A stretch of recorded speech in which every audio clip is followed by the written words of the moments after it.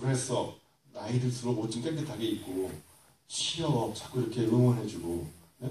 제일 중요한 게 두 가지가 있어 shut up 나이 들수록 입 좀 닫아야 돼 네?